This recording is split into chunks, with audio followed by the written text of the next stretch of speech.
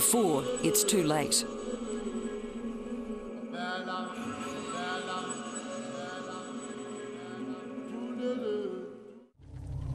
South Africa's rugged northeast Transvaal region is in the relentless grip of another drought, as it has been for almost two years out of three over the past few decades. The hope for abundant summer rains was in vain again this year. Now, at the end of another dry season, the land is parched, waterholes are drying up, grass is gone, and the trees are all but dead.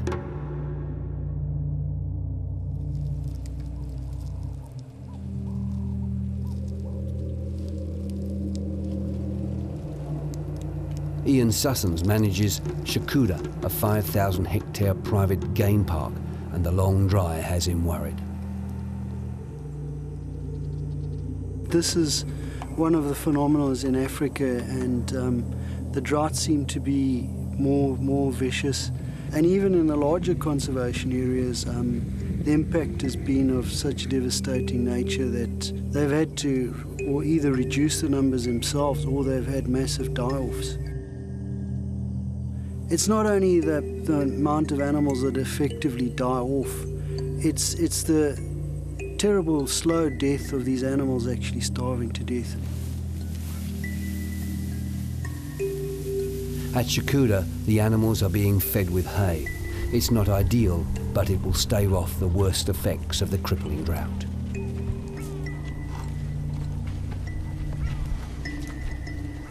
Whilst the feed is a lifesaver for the animals that would otherwise starve, it also introduces another danger into their lives. And wildlife veterinarian specialist Peter Rogers often has to sort out the damage. As soon as you put four fences around a place, you're interfering with nature straight away. So what happens is, is generally speaking, in a lot of these reserves, there is relative overstocking. So in a drought situation, animals cannot move out.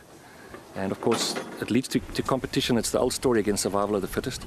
People feed them artificially, brings them into close proximity, and they still have their territorial disputes. So the, the opportunities and chances of injury are, are, are much increased.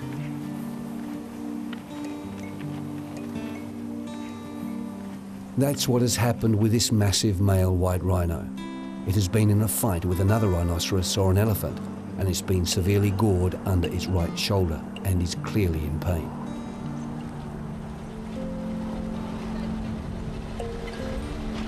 If it isn't treated with antibiotics within the next few hours, a severe infection is likely to set in and the animal faces an agonizing death.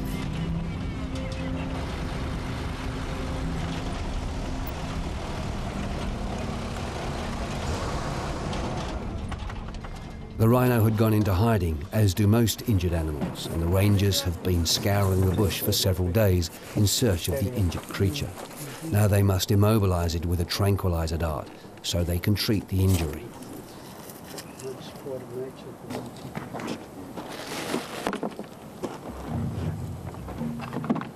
Once it's still, the drug starts to take effect, we can go in quickly. A tense and dangerous time. One wrong move and this injured rhino could turn on its helpers and attack them, ending in injury or death of either men or rhino or both.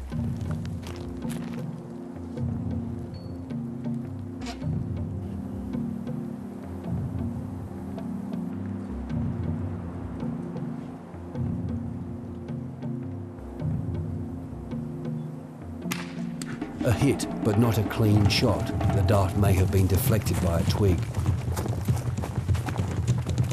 Now the chase is on. He's gone behind me. The animal is now at great risk.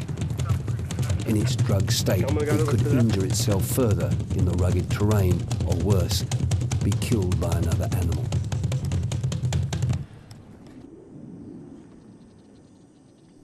There are two of the world's five species of rhinoceros in southern Africa, the white and the black rhino, and both are teetering on the edge of extinction. Despite this, many Africans know little about how endangered their wildlife is.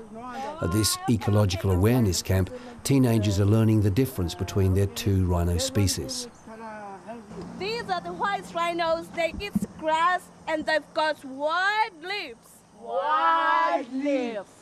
These are the black rhinos. They eat from the trees and they've got long leaves. Long lives.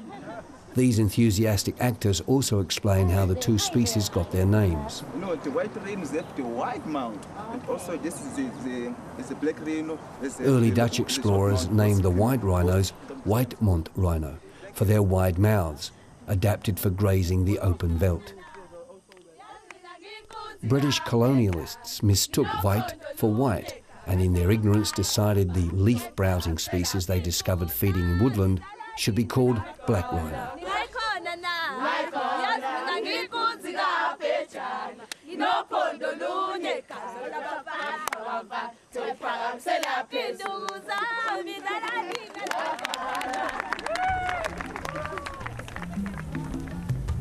Neither species are actually coloured to match their names, but the so-called white rhino is often lighter toned in its open grazing environment.